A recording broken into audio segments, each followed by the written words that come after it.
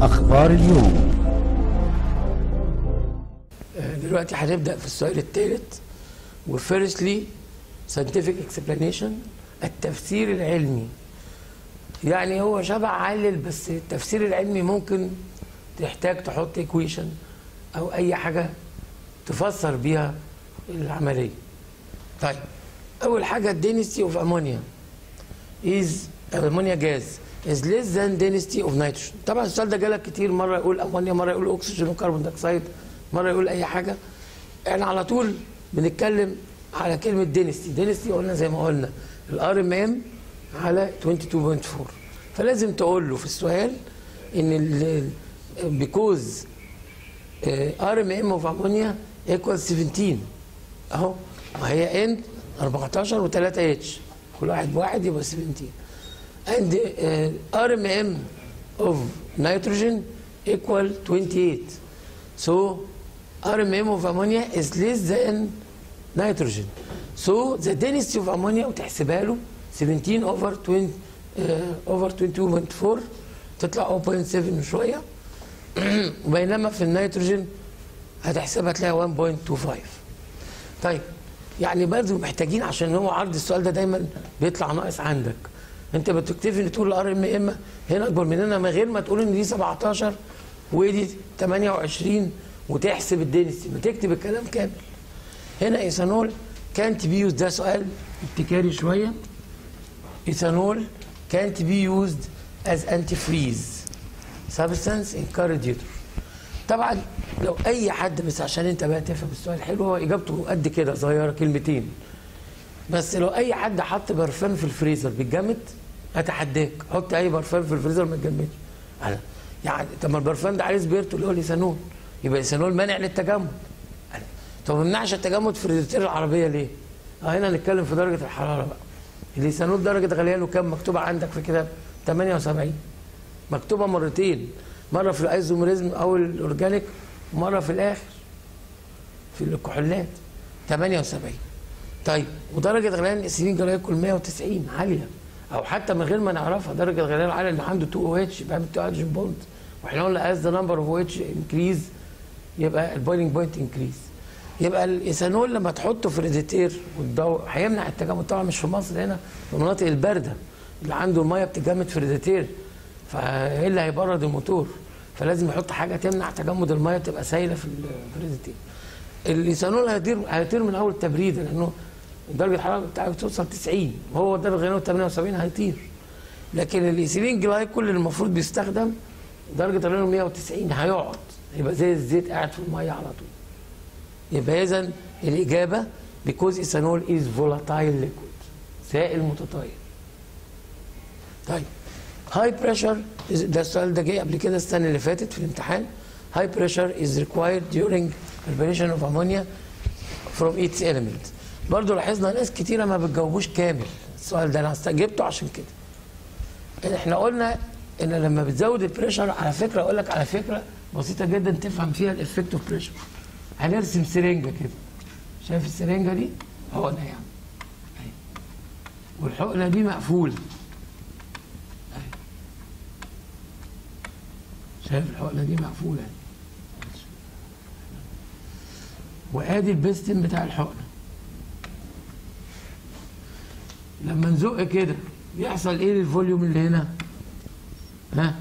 decrease يقل. يعني إيه؟ يعني pressure increase يبقى increasing pressure مع decreasing إيه؟ volume لما ال volume يقل لما ال pressure يزيد يقلل ال volume. يبقى ال pressure هنا inc increase لكن ال volume decrease طبعا أنت عندك reaction في عدد المولات هو عدد المولات ده عبارة عن إيه؟ ما عدد المولات ممكن تترجمه volume مش المول ب 22 4 من 10 يبقى عدد المولات تحضير الأمونيا هنا 4 مولات بيدوا 2 في الأمونيا يبقى 22 4 من 10 في 4 وهنا في 2 يبقى volume كبير بيدي volume صغير والعكس طب وإيه علاقة ال volume بال pressure؟ ما هو لما يزيد ال volume بتاع الغاز يزيد ال partial pressure الضغط الجزئي دي لو عندك بالونة فيها هواء مفضية زود كمية الغاز يزيد الضغط يزيد الضغط يبقى كل ما يزيد الحجم يزيد الضغط. يبقى اذا الضغط بيترجم بالحجم والحجم بيترجم بعدد المولات. كويس؟ يبقى أنا لما أزود ال pressure increasing pressure ال volume بيقل ما بيبقاش في مكان للكبار. ما أنت عندك كبار بيدوا صغيرين يعني غازات كبيرة بتتحول غازات حجمها صغير والعكس. يبقى إذا increasing pressure decrease the volume of gas أو decrease the number of moles أحسن حاجة تفهم بيها ال pressure الحتة دي. increasing pressure decrease number of moles يبقى decreasing pressure ها increase number of moles العكس. طب ولما أشيل البيستم ده خالص وأسيبها كده هيرجع تاني للاتزان لأن ولا عليه زيادة ولا عليه نقص. يبقى أنت بتزود ال pressure بتقلل ال pressure كويس؟ طيب يبقى هنا بنقول high pressure يبقى عدد المولات هي إيه؟ هيقل الأمونيا 2 مول والنيتروجين والهيدروجين 4 مول. يبقى كده إيه؟ هيروح في اتجاه الأمونيا. يبقى الإجابة إيه بقى؟ هقول increasing pressure shift the reaction forward. أنا زقه قدام ليه؟ to decrease the number of moles. يعني decreasing the volume. طيب and produce ammonia. طب نيجي هنا electrode. كنت- آه برضو السؤال ده في مفهوم هنا مهم قوي إحنا عندنا في ال galvanic cell ال metal لما يدوب ال metal لما يدوب أو بيعمل oxidation يعني بينزل ال ions بتاعته في ال solution وبيسيب الإلكترون على سطح الميتال فالأنود بيبقى negative طيب أنا عايز أعرف ال electrons ما بتنزلش ليه في ال solution الإلكترونز ما بتنزلش في السوليوشن لأن السوليوشن ايونيك كوندكتور لكن الميتال هو الإلكترونيك كوندكتور يبقى لازم نفهم الفرق بين ال metal وبين ال solution أو ال electrolytic solution بين السلك أو المحلول لازم نعرف الفرق. يبقى copper is electronic electronic conductor because it is a metal it has metallic bond يعني. طيب it is a metal مش هنقول metallic bond ده بتاع سنة ثانية هنقول it has free electrons طيب وال copper sulphate ده electrolyte يبقى ionic conductor ليه؟ because it has free moving ions يبقى هنا free moving ions conduct electricity by free moving ions هنا conduct electricity by free electrons نيجي بقى لل rate of reaction بيزيد بال rise ال temperature خلي بالك معايا بقى. في هنا إيه؟ خطوات. لازم تعرفها.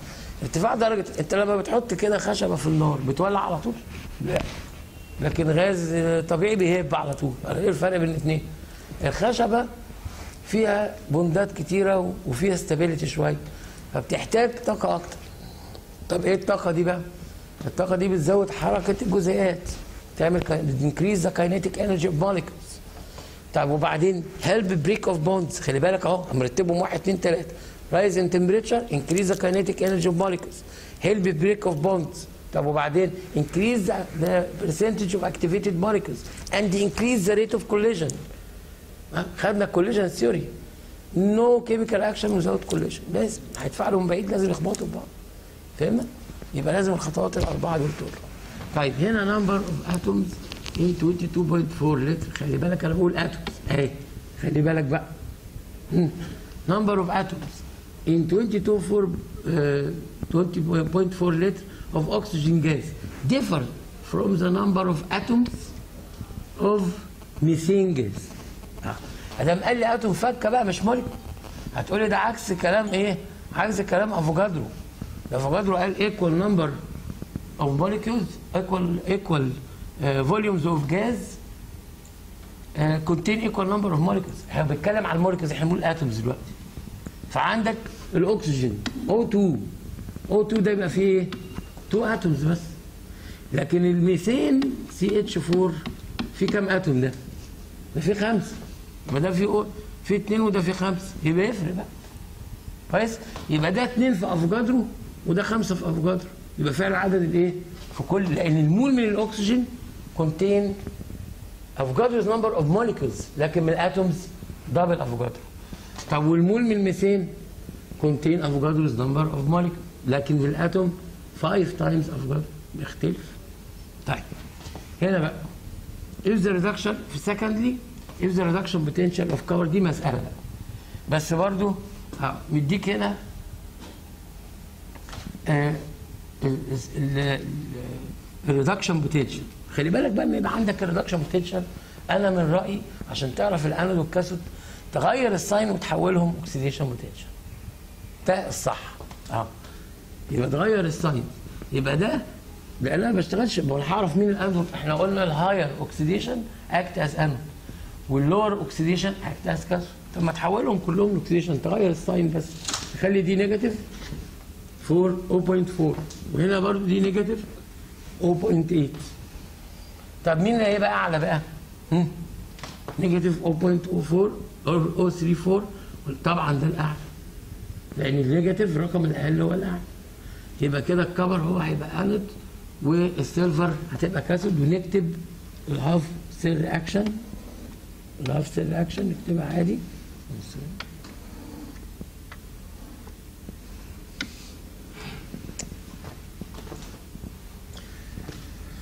Cu على Cu 2 positive salt bridge Ag positive على Ag ما تعملش عامل valency إن إحنا نحط هنا. اثنين أو حاجة وده اتجاه التيار من الانود للكاثود والإجابة عندك قدامك بص فيها طيب.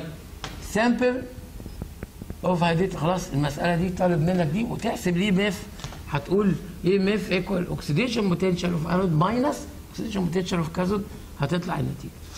طيب sample of hydrated calcium chloride طبعا مسألة مشهورة عندنا في كتاب النماذج موجودة وزيها واحدة في في كتاب المدرسة example محلول. ولا حاجة انت عندك وزنتين للمادة دي. هو عايزك تحسب له x اللي هو عدد ال molecules of water x فعشان تحسب له x لازم تستعرض تق- تشوف الوزنتين دول عشان تشوف وزن المية كام. الوزنة دي hydrated of hydrated substance أهو قبل ما نحطها في ال desiccator يعني إيه hydrated ودي ال anhydrous نعمل minus يطلع 0.36 جرام وزن المية. طيب أنا رأيي إن أنت تعمل زي ما أنا عامل لك في ال model answer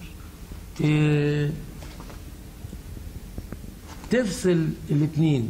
يعني تقول الكالسيوم chloride ال anhydrous وادي ال x ميه زي ما أنا عامل لك. عشان ممكن مش فاهم الفكرة إيه. وبعدين تحط هنا ال molecular mass بتاعة الكالسيوم طبعا 40 plus 35.5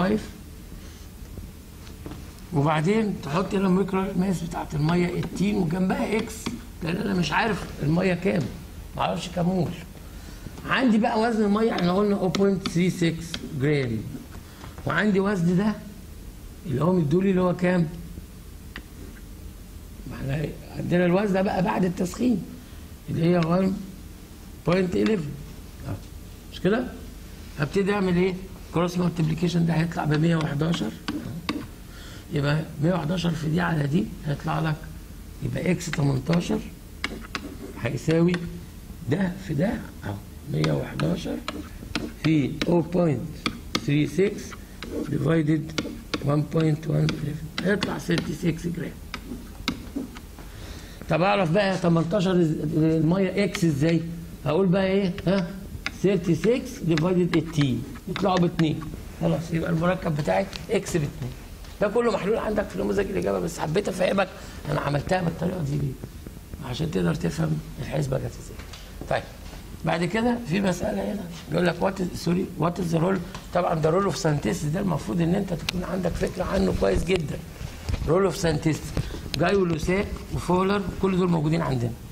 how can you differentiate practically between عايز بس تعليق صغير على how can you differentiate التجارب دي سهلة وموجودة عندنا بس في تعليق صغير. دلوقتي بقول لك فرق بين ال methane وال ethylene هتقول لي بال red bromine water اللي هو ال bromine red وده liquid ونحط عليه calcium tetrachloride في ناس بقى بتقول لك إيه؟ بتقول لك if it ethylene the color will disappear. If is if methane the color not change. الإجابة دي خطأ تماما. هتقول لي ده أنا عيد التجربة كاملة. غلط ليه؟ لأن أنت قلت ال conclusion قبل ال observation قلت المستنتج قبل المشاهدة. أنا بقول لك الاثنين دول مش معروفين. تقول لي إذا كان اثيلين وأنا مش عارف انه كان اثيلين يبقى خلي بالك انت كده التجربة كاملة وهتاخد صفر ما تزعلش. لأن انت بتجاوب من غير دماغ. لازم أنا بقول لك فرق بين اثنين انون أنا مش عارفهم. يبقى تقول لي ال observation اذا راح اللون يبقى اثيلين يبقى if the color disappears زي ما أنا كاتب لك so it is ethylene if the color not change so it is methane بس ولا طالب equation ولا حاجة. هنا برضو ethanol و phenol هتحط انستيك كلورايد هتقول نفس الكلام برضو. ما تقوليش بقى إيه إذا كان فينول هيدي violet. لا تقول لي إذا اللون بقى violet يبقى فينول. إحنا بنتكلم دلوقتي عشان نعالج المشكلة مش أي إجابة تبقى صح. كلنا ناخد بالنا وتك كير من الحاجات. شكرا.